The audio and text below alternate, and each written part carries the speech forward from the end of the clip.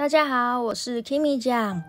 说到星二代，可能会让人联想到负面的标签，但是很多星二代反而是靠着自己的努力，不靠父母，成功撑起门面。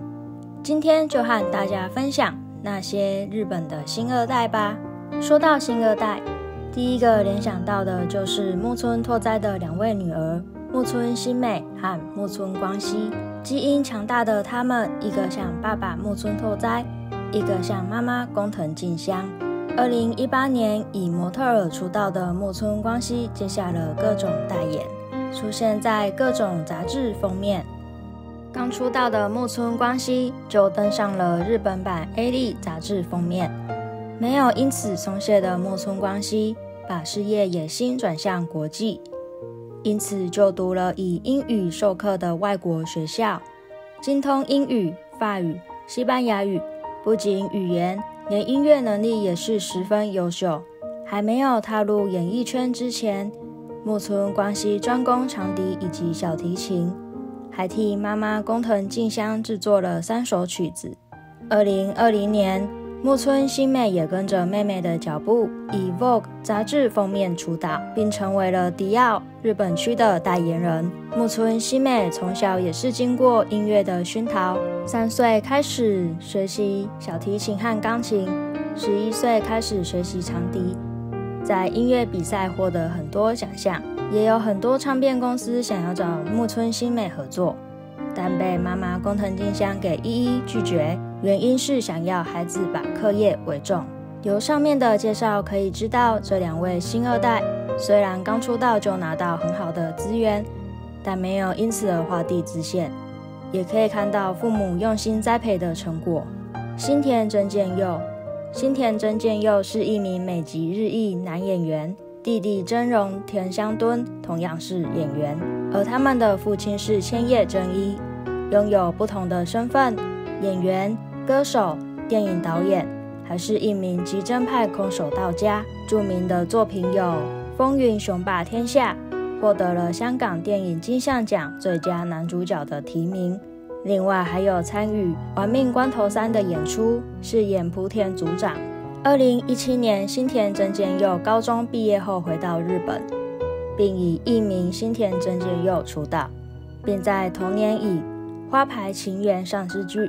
获得日本电影学院最佳新人奖，怀抱着在国际电影市场发展的梦想，出演《环太平洋二》，让新田真剑佑踏出了迈向好莱坞的第一步。二零二零年底，新田真剑佑做了一个重大的决定，离开经纪公司，并且停止在日本的一切演艺活动，和父亲一同前往海外发展。弟弟真荣田香敦。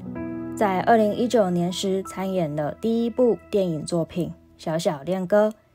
仅有二十一岁的他，目前演出了十部影剧。这两位星二代也是从小被教育的很好，从小接触音乐，也一起随着父亲的脚步踏上了演员这条路。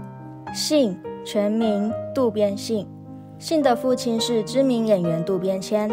二零零四年，凭借着《末代武士》获得奥斯卡最佳男配角的提名。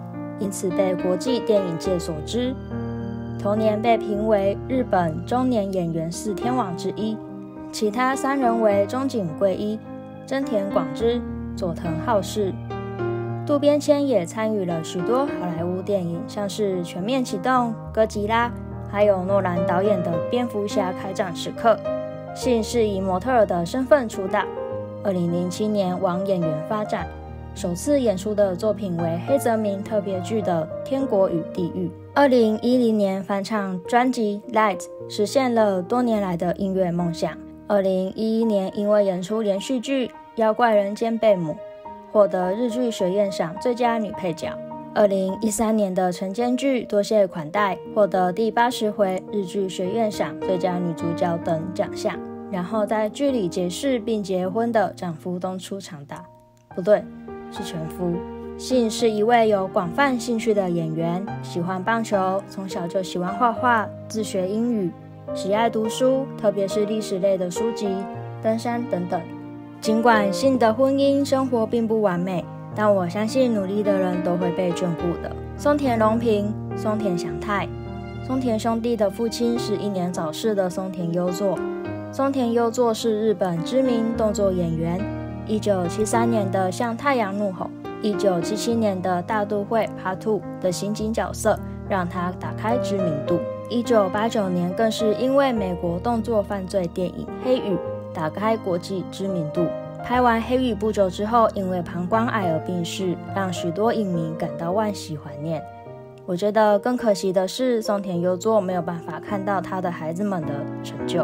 哥哥松田荣平十五岁时被著名大导演大岛主发掘，主演大岛主的电影《御法度》而出道，并且获得不少新人奖。二零一三年的《宅男的恋爱字典》让松田荣平获得多项男主角奖。这部电影也代表了日本角逐第八十六届奥斯卡金像奖最佳外语片。弟弟松田翔太也是一位演员。后来知道他们是兄弟的时候，吓了一跳，因为我觉得两兄弟长相没有相似的地方。说到松田翔太，大家最能熟悉的应该是2007年的《假期游戏》，与户田惠梨香主演。《假期游戏》是一部斗志刺激的日剧，有点像《经济之国》的闯关者。松田翔太凭借着电影《幸福在路上》《暴走少年死亡预告》获得多项新人奖。两兄弟还有一个妹妹。妹妹是日本非独立新生电子乐团的女主唱 Yuki 安藤英。安藤英的父亲为奥藤英二。安藤英来自政治演艺家庭，外曾祖父是日本前首相全养义，外祖父是前日本法务大臣兼职小说家全养健。而父亲奥田英二从明治大学法学院退学后，曾经担任过国会议员的秘书，之后才踏上表演这条路。姐姐安藤桃子是导演和编剧。安藤英的丈夫是待会会介绍的丙本佑。安藤英和丙本佑都是来自于演艺世家。奥藤英二是演员、导演、制片，也是一位画家。一九九四年的《棒之哀》扮演一位城府很深、游走在各个势力之中的黑道，并获得了蓝丝带奖最佳男演员奖。之后的奥藤英二偏向于制作电影，特色是善于描绘有深度的角色人物。并受到观众的喜爱。安藤英是一位得奖无数的女演员，不管是在电视剧还是电影上都很有成就，被日本媒体封为个性派演员。最著名的是2018年失之愈合的电影《小偷家族》，并在隔年以此电影拿下最佳女主角奖。《爱的曝光》《健太与纯与家世的国度》《家族的国度》《百元之恋》。零点五公里等等都是安藤英的代表作。丙本佑、丙本石生也是一对新二代兄弟档。他们的爸爸是丙本明，二十八岁就加入了剧团，并演出多部舞台剧、电视剧和电影，也是一位实力派演员。在二零一一年获得日本颁发的紫绶包章，感谢他在戏剧演艺圈的贡献。先来介绍哥哥丙本佑。林本佑在各个戏剧里面是有强烈存在感的配角，称为最强绿叶、天皇的御厨、阿浅来了、不知道就好的事、天国与地狱等等。就算只是配角，也还是能够看到林本佑的演技。不过，在二零一九年的《你的鸟儿会唱歌》，讲述三个主要角色过着看似穷困潦倒却自由随性的日子。这部电影让丙本佑拿下最佳男主角奖。从配角到影帝的丙本佑依然继续他的演技之路。丙本实生和哥哥一样，是一位存在感很强烈的配角，出道了四年，演过很多戏剧作品，但是目前还没有得奖。相信只要丙本实生继续演戏，也可以拿下几座奖项的。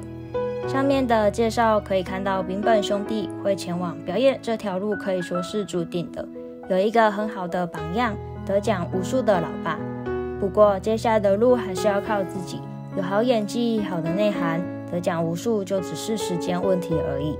村上红郎，村上红郎的父亲是同为演员的村上纯，母亲是歌手 U.A。在村上红郎九岁的时候，父母离婚，抚养权为母亲。移居到冲绳，后来前往加拿大就读高中。村上红郎会弹钢琴、和吉他、打篮球、剑道、骑马。二零一四年主演电影《第二扇窗》，首次出演电影就担任男主角，并且获得最佳新人奖。二零一八年首次主演电视剧特别集《我们仍未知道那天所看见的花名》。我对村上红郎最有印象的就是《经济之国》的闯关者，饰演神秘感、头脑很好的巨屋俊太郎，把一正一邪、城府很深的感觉发挥出来，让人觉得有点害怕。冈田结实，上面介绍的新爸妈都是演员，接下来要介绍的则是搞笑艺人冈田圭佑的女儿。二零零一年仅有一岁的冈田结实，作为儿童模特儿踏入演艺圈。或许是因为爸爸是搞笑艺人的关系，冈田结实遗传到了爸爸的开朗幽默。二零二零年演出了喜剧漫改《女高中生的虚度日常》，剧里每一个人都很有特色，还是该说是奇葩。以上就是今天的介绍。新二代拥有强大的背景，有很好的教养以及资源，但并不代表就可以不努力。有一个很优秀的新爸妈，新二代的行为举止并会被放大检视，难免会被比较，所以要多充实内涵，磨练演技，还有其他不足的地方。我相信这样观众就会支持的。那今天的影片就到这里结束喽，谢谢大家的观看，希望你们明天有一个美好的一天，拜拜。